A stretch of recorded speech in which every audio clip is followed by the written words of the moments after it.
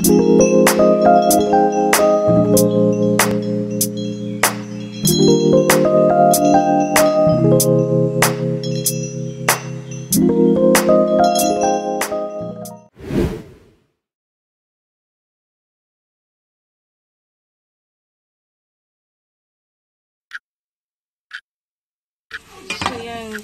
kailangan prito nyo muna yung kamote tsaka yung saging. Kasi nag-add siya ng flavor kapag yan ay nakaprito. Para sa ating puchero. Okay. So, lumabas na yung amoy ng bell pepper. Naaamoy ko na. So, lagay na natin yung ating garlic. Ayan. Tigisa nyo lang po yung garlic nyo hanggang maamoy nyo na din po yung flavor ng garlic. After the garlic, uh, syempre yung pong ating sibuyas. Mm, okay? After the sibuyas, lalagay naman natin yung ating tomato. Okay, so ito na yung tomato. Lagay naman natin yung tomato. Hintayin lang natin silang maluto yung ating uh, sibuyas at kamatis. So, pag okay na yung sibuyas at kamatis, ilalagay nyo yung ating pinalambot na beef. Yung pinalambot natin beef, yan. Ito po yung ating beef na pinalambot. So, pag gisado ng mabuti itong kamatis at sibuyas, ihuhulog naman natin yung ating beef. So, ang niluluto po natin ngayon is beef pochero. Yan. Okay guys, lagay, lagay, lalagay na natin yung beef kasi amoy na amoy na yung ginisa natin. Meaning, cook na siya. So, lagay nyo na po itong beef na pinalambot na. Okay.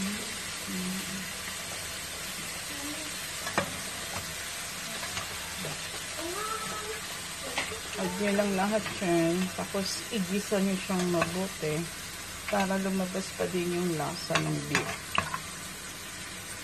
So, yan po. Igisan yung mabuti. Haluin nyo siya ng mabuti para mag-even.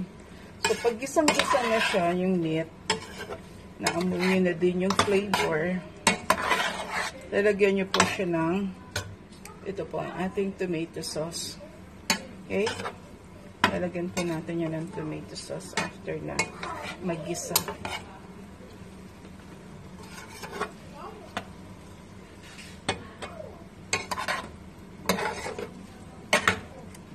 Put the tomato sauce.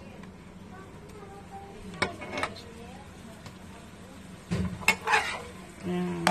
Haluin nyo siya. Pag even na siya, okay na siya, takpan nyo po muna. And then, lagay nyo lang siya sa low fire para kumatas yung lasa. Okay? Lagyan na natin siya ng tomato sauce. So, i-add nyo na yung inyong saging at saka yung piritong kamote para yung flavor nila sumama doon sa sa sarsa. Ayan. So, yan po. Then, add nyo lang siya ng yung pinagpakuluan ng beef nyo. Ilalagay nyo po siya. Ilalagay nyo po siya nun. Yan. Lagyan po natin siya ng pinagpakuluan ng beef. Hmm.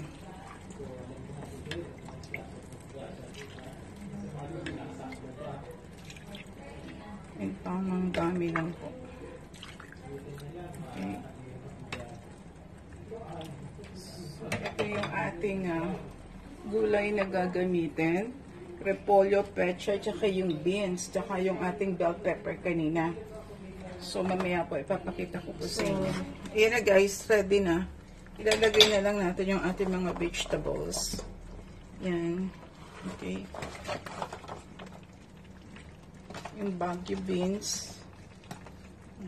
So, hindi ko po siya, nakita nyo, hindi ko siya pinuputol. Pag po, mas maganda po yung buo.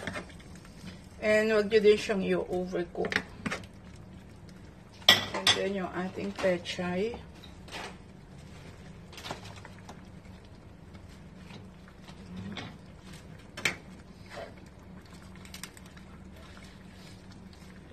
Ito po yung Spanish dish. Kung ikukumpara natin sa Pilipino, parang nilaga.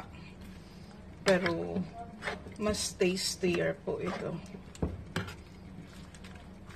Okay. And then last natin itong repolyo.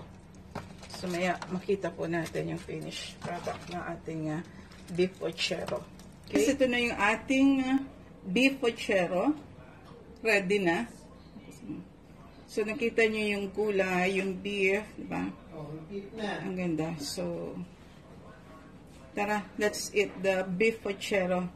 Thank you for watching. And itry nyo po itong recipe na to. Don't forget to subscribe, like, dito po sa aking channel. Once again, this is Mami G para po sa ating beef pochero. God bless.